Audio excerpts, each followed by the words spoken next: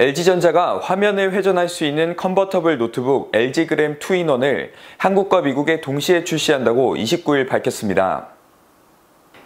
LG전자는 앞서 17인치 대화면을 탑재했지만 무게가 1340g에 불과한 LG gram 17을 국내에 선보인 바 있습니다.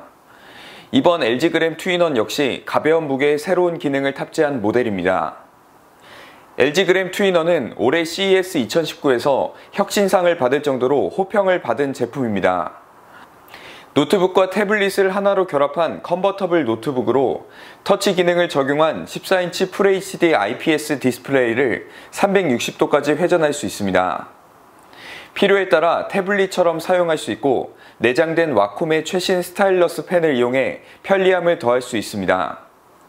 stylus 펜은 4096단계 압력과 펜 기울기는 물론 방향까지 인식할 수 있어 글씨나 선을 더욱 세밀하고 정확하게 표현할 수 있습니다. 신제품은 1145g의 가벼운 무게로 탁월한 휴대성을 자랑합니다.